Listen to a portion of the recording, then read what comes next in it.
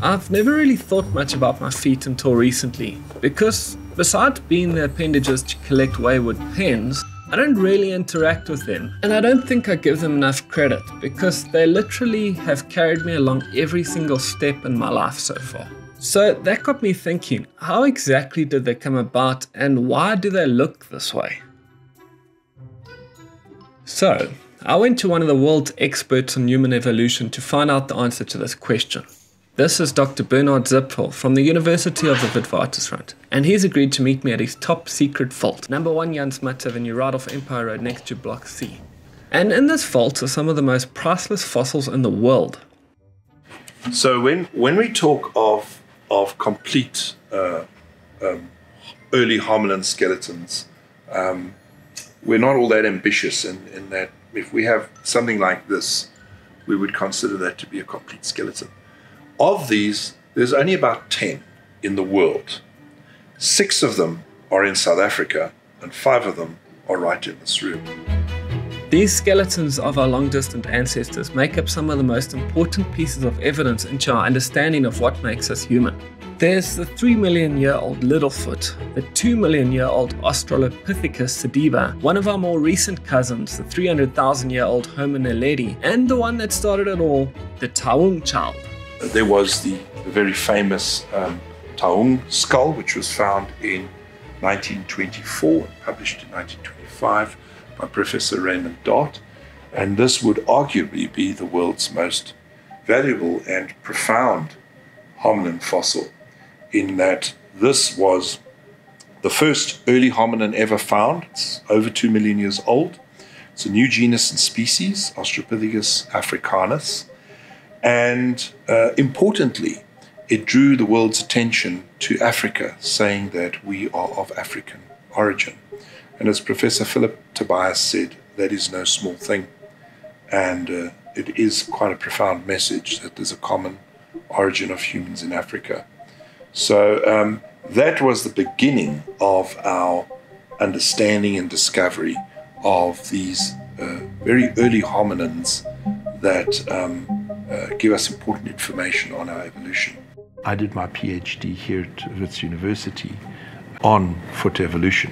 So I started out as a podiatrist in podiatric medicine, and I did that for, for several years. All in all, I was in that field for 17 years. But for a large portion of that, I've always had an interest in, in physical anthropology, and then in a sort of a roundabout way, um, taking an interest in in coming from a podiatric medical background, taking an interest in the, the historical and, and, and anthropological side of uh, why we have uh, foot disease and why we function the way we do. And realizing that bipedalism, walking upright, is a unique thing among primates. We are the only primates that habitually walk upright.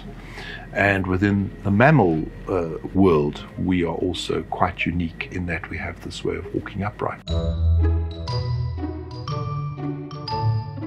Bipedal locomotion or walking on two legs comes naturally for most of us. You put one foot in front of the other and, well, repeat. But it's not quite so simple. You see, there are actually surprisingly few species on this planet that can do this. We evolved from a species that was largely tree climbing and then became tree climbing and moving on the ground, then tree climbing and moving on the ground using only our legs and depending less on our upper limbs for locomotion.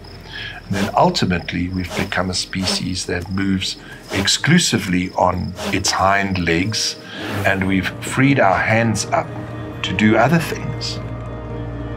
Hence, our ability to develop the technologies we have to become the dominant species on the planet. And through that, we also developed larger brains. So we became a large, or let's call it advanced brain species, where we use our upper limbs to do all sorts of things, and least of all, move around, and depending on our lower limbs to carry us upright. And this all started in my neighborhood, where I love to run, in what is known as the cradle of humankind, the birthplace of our species. Hundreds of thousands of years ago, our ancestors would have been running, like I am, in this exact spot. Well, not on this very spot because there's a road here now. And perhaps because we learned to run is the reason that we became such a dominant species. Certainly, we evolved as a species that endurance runs.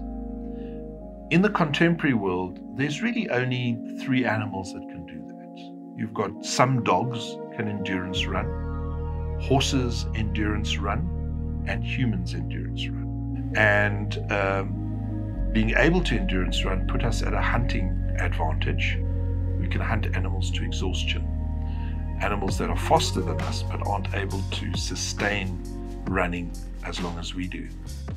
Um, so there is the hypothesis that um, uh, it, it's our running capability that enabled us to evolve completely uh, the way we have and to, to have the upper hand, as it were. But endurance running seems to be quite a recent evolutionary development and um, very much a Homo sapiens thing. Um, at a push, we had our immediate uh, hominin uh, ancestors who um, may also have endurance run, but looking at our older hominin species uh, that we're familiar with, we don't have evidence that they could actually endurance run. They could probably run, they could run short distances, but then also keeping in mind that most of these early uh, species, early human relatives, they weren't the hunters, they were the hunted. They were the ones on the menu. So, yeah, in the cradle's a spot where our distant ancestors decided to stop monkeying about and start walking and running on our two feet. And this was long before the days of Adidas and Nike. Since then, our feet have undergone many upgrades. If you take um, the species found in 2008 by, by Lee Berger, well, his son had picked up the first, first specimen, um, and it was named uh, Australopithecus sediba. You have a, um, for the first time, we had a, a, a complete complex of a rear foot, a heel bone, calcaneus, an ankle bone, the talus, and then you had a, a tibia, which which comes on top like a distal leg bone. It's quite an important part of the foot. We, we weren't ever sure when we see all three together. If we found that separately in one location, I would have said this was some sort of primitive Miocene ape, heel bone. If I found that on its own, I would have said that's some form of human, very close to a modern human. And if we found this, we would say, oh, that's a perfect combination of very ape like features, very human like features, and some features that are unique even among hominins. But they come from the same individual because it was found like that. This is a cast of the original specimen. Doesn't look like much, but there's the heel, there's the ankle bone, there's the leg bone. So we know it all belongs to the same individual. If I had the bones separately, I would have said they're different species. Because that's a snapshot in time where evolution doesn't all move in a smooth line perfectly all the way. Somewhere along the line, you're going to get various features that have been adapted to do various things, and we're going to see these very odd combinations, like they shouldn't belong together, but they do. Mm. So, uh, you know, I wouldn't be surprised if you find another hominin who lived at the same time who had a much more primitive foot or much more modern foot. We don't know what the forefoot of this particular creature looks like. We're making some guesses, we're hoping to find some of them at some stage. We don't know. You, will get um, a species such as Homo naledi that would have a perfectly modern looking human foot with slightly more curvy toes. And I would imagine it functioned very much the way a modern uh, human foot did. But as you go up the skeleton, you start seeing some primitive features in the hips. You have a cranium with a brain one third the size of a modern human. So that hints towards the hypothesis that perhaps the foot was the first part of our anatomy that became human. And um, personally, I, I think that is the case. The shocking news is that of all of these hominins we have here, it's possible that not one of them is a direct ancestor of ours. But without looking at the genome of these creatures, we will never really know. The reason why we say that is previously, when you only found one species in each time period, you make a presumption that the one evolved into the other. But we have multiple hominins living at exactly the same time on the same horizon. They can't all be ancestral to us.